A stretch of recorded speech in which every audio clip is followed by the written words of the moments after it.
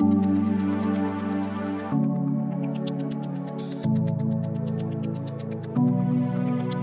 guys! In this video, we're going to learn all about text in HTML.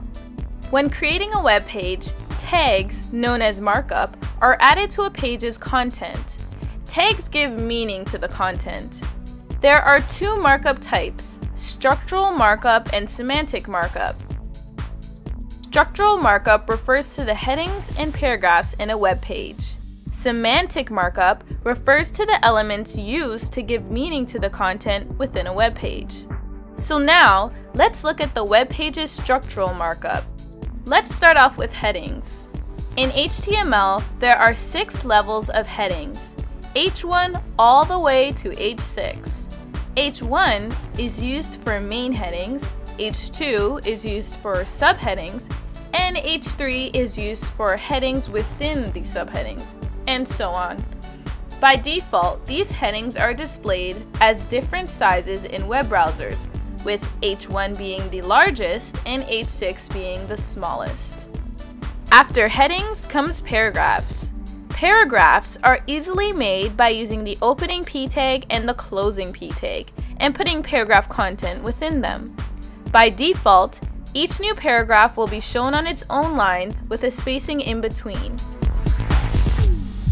Inside paragraphs, we can add a variety of visual cues to the text. Just like when you're writing a document, you can make the text bold by using an opening B tag and a closing B tag, or italic by using the opening and closing I tags. You can even make superscripts using the sup tag and subscripts using the sub tag.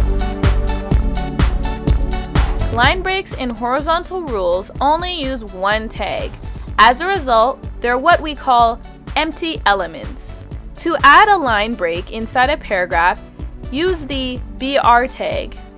When making a thematic break, like starting a new topic, you would use the horizontal HR tag. Both tags are written using a space and a forward slash. See? Only one tag is needed. Now that we know more about a web page's structural markup, Let's look at a web page's semantic markup. As stated earlier, the semantic web page gives meaning to content in the web browser, unlike the tags used in the structural markup, which is more visual.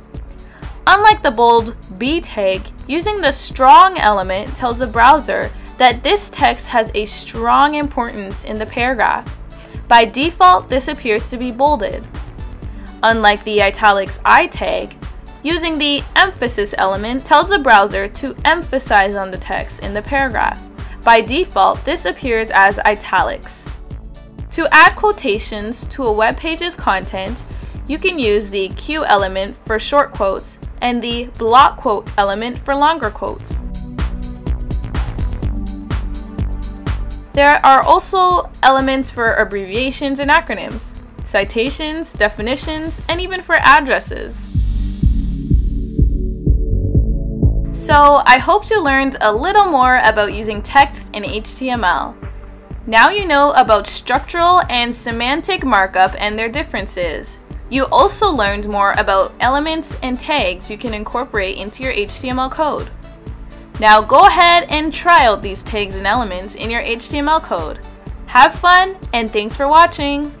Hit the like button if this video helped and subscribe for more videos just like this.